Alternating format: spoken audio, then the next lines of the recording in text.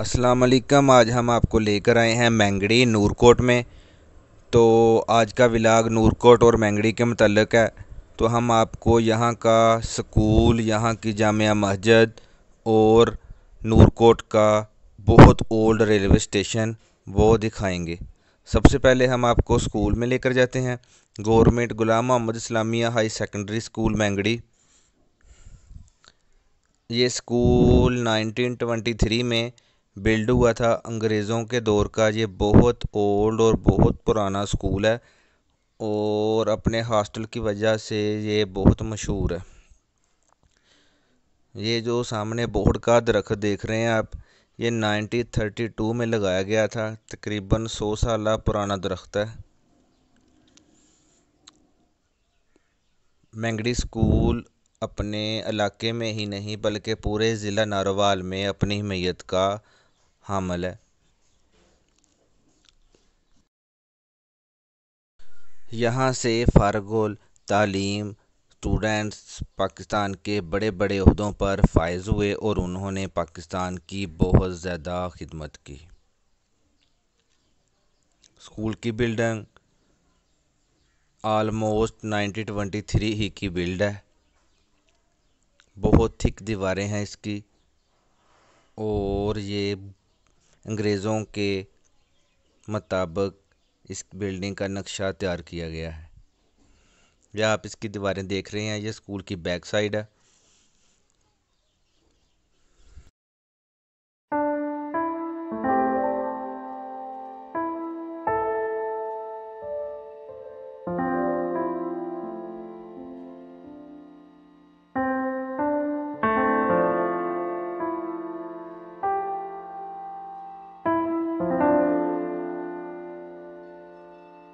School के साथ ही नमाज़ ज़ोहर की अदायगी के लिए और हॉस्टल के बच्चों की सहूलत के लिए, इबादत के लिए एक छोटी सी मास्क भी स्कूल के साथ ही इसके अंदर ही मौजूद है।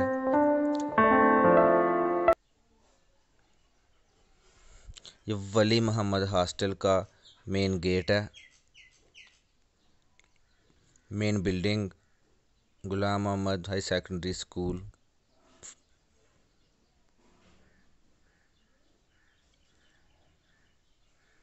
1925 से लेकर अब तक के जो स्टूडेंट्स हैं, जिन्होंने टॉप किया है और वो फ्यूचर में उन्होंने कौन कौन सा शोबा अख्तियार किया, वो इनके आगे लिखे हुए हैं। 1925 से लेकर नाइन 2019 तक तमाम के तमाम स्टूडेंट्स का डाटा यहाँ मौजूद है।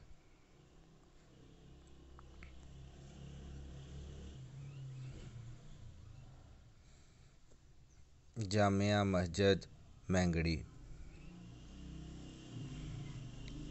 ये मस्जिद 1932 में तमीर की गई।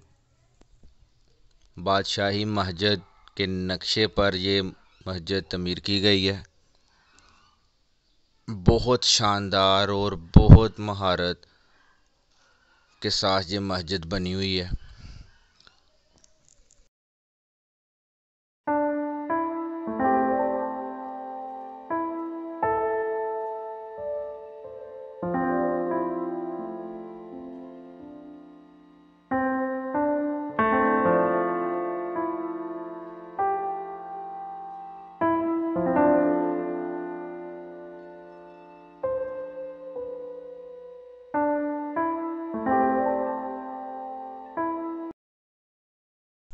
इस मस्जिद को आप फ़न तमीर का एक शाहकार भी कह सकते हैं।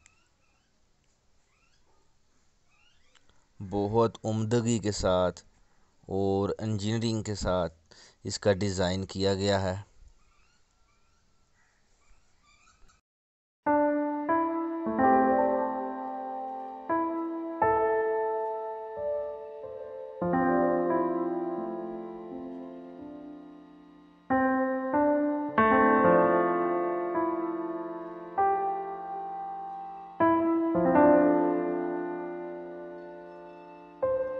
मस्जिद की छत का जो इंटीरियर है, बहुत खूबसूरत रंगों से इसको भी डिज़ाइन किया गया है। और इसके जो डोर्स हैं, ये भी ओल्ड हैं। मिनिमम ये हंड्रेड ईयर अगो के हैं, तकरीबन एक सौ साल पहले के।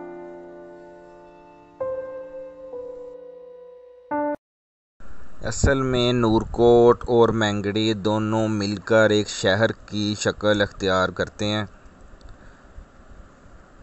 2011 में नूरकोट मैंगड़ी की आबादी तकरीबन बारह हज़ार आठ सौ छिहत्तर थी। नूरकोट का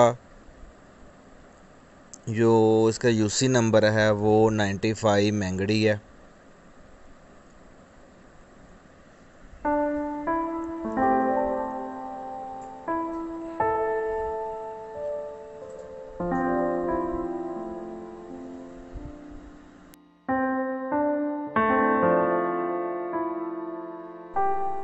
तकरीबन सत्तरवीं सदी में नूर ईपो नामी एक शख्स था जिसने इस गाँव की बुनियाद रखी थी। तो सत्रहवीं सदी से लेकर अब तक तकरीबन 400 साल में ये बहुत डेवलप हो गया है और एक तकरीबन शहर की शक्ल में कन्वर्ट हो रहा है।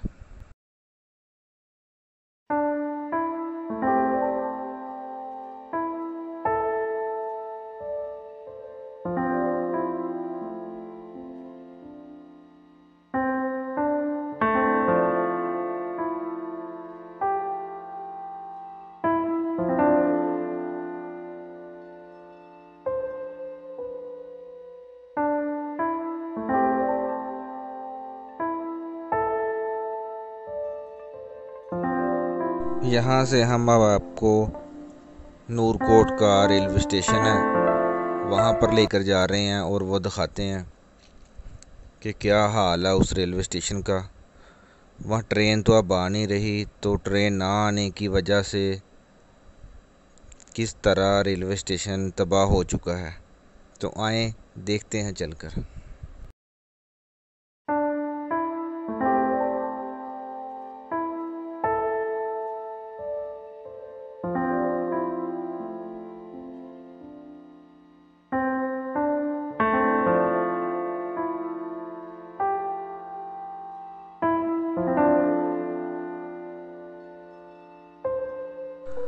ये नूरकट का तबाहाल रेलवे स्टेशन है।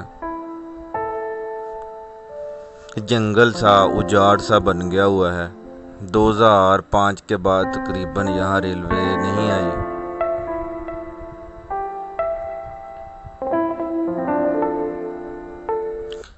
इसकी खस्ता हाली आप देख सकते हैं।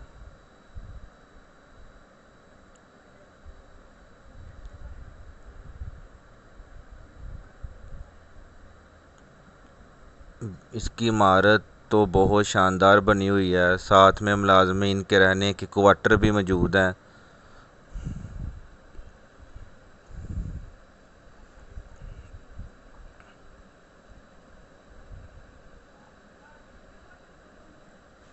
लेकिन रेलवे स्टेशन का कोई हाल नहीं है। ये देखकर बहुत अफसोस होता है।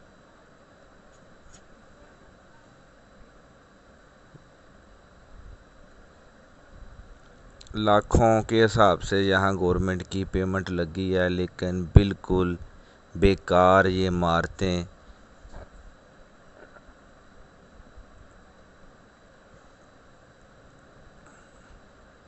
एक वक्त था कि यहाँ मुसाफरों की हर वक्त गहमा गहमी होती थी, रौनकें थी, लेकिन अब बिल्कुल ये बेकार है।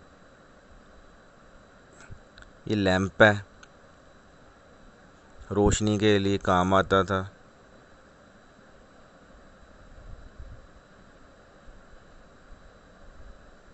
रेलवे स्टेशन, नूरकोट, ये एक और लैंप है।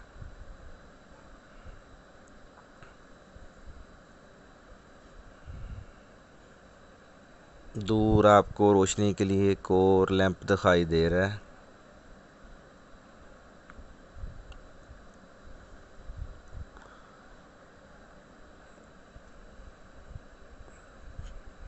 हम आपको अब अंदर लेकर चलते हैं कि और दिखाते हैं?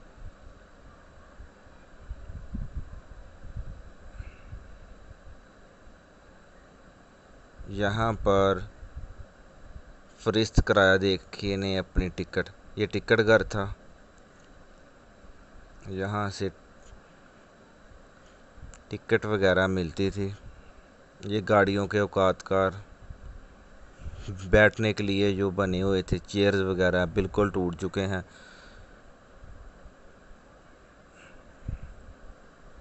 एक रूम है इधर और उसको लाक लगा हुआ है।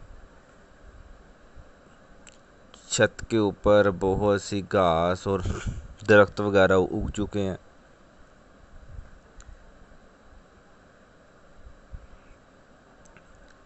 रेलवे आनी है या नहीं आनी इधर? लेकिन कम अज़ कम रेलवे को चाहिए कि ये अपनी जो इमारतें हैं, इनको साफ़ सुथरा करवा कर रखें। जी फ्रेंड्स, अगर आपको हमारा आज का व्लॉग पसंद आया है तो हमारी वीडियो को लाइक करें, कमेंट्स करके बताएँ, अपने फ्रेंड्स के साथ शेयर करें, और सबसे मेन है कि हमारे चैनल को सब्सक्राइब करें।